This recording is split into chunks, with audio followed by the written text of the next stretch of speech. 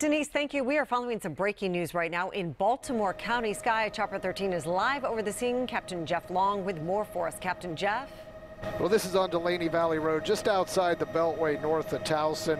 This is a two-car accident They came out as an accident with entrapment, but they were able to do a door pop on this car. They are currently getting the patient out onto a stretcher. We understand they will be transported priority two. The medic is standing by.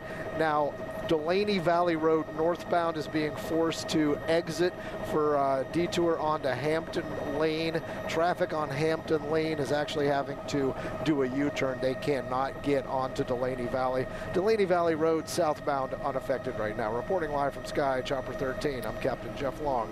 Back to you. Captain Jeff, thank you. We'll bring you more information on that accident as it comes in.